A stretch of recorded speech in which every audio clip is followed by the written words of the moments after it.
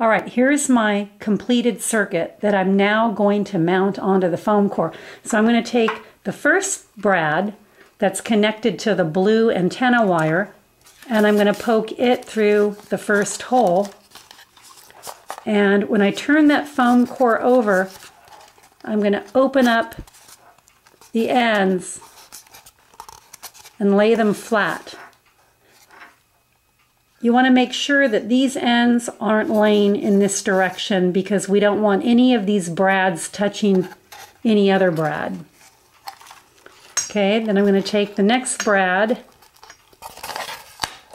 and poke it through.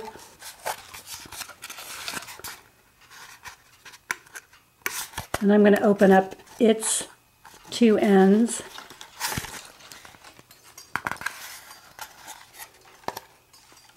And then I'm going to take the third brad and I'm not going to put it in the third hole. I'm going to put it in the fourth hole. And then I'm going to turn the foam core over and open up the ends of that brad. Using a piece of double-sided tape, take a piece and put it on the foam core approximately where you want your coil to sit you can just take some office tape and tape down the sides, just like I'm doing here. The wires that come from the earbud are very thin copper wires. They're very thin um, stranded wires.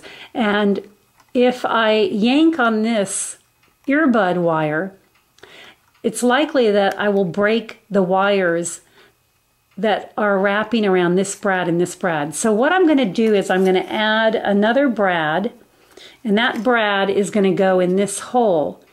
And that brad's going to hold the earbud wire in place like this so that if I yank on this wire, that tension is not going to be transferred to these two other wires.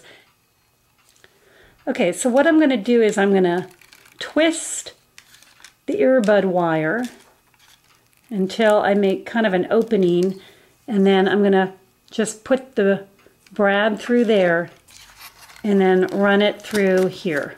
So in order to see if we can hear anything, we've got to take the ground wire and put it into a ground plug or if we have um, a large uh, piece of metal outside that can absorb electrons. We can use that as a ground. Um, so what I'm going to do is I'm just going to use a ground plug um, that is just in my my home wiring. All right, so notice this power strip. I'm going to turn it on.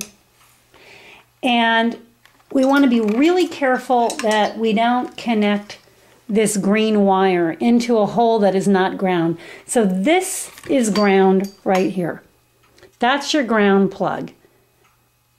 These other holes you do not want to connect to because one is 120 volts and the other one is our return wire.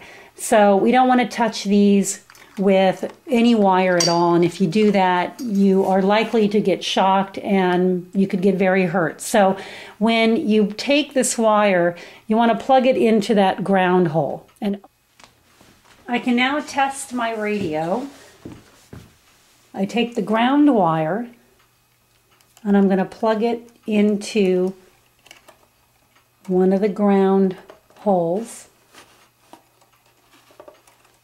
I'm going to take the blue antenna wire and I'm going to tape it to the wall so it's running up um, the wall next to a window and then I can now take the earbud, stick it in my ear and see if I hear anything.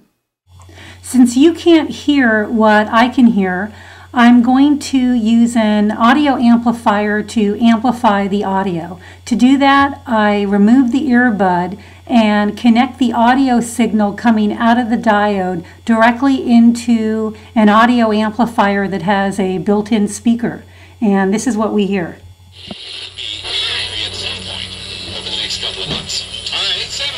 Plan out the number up to error.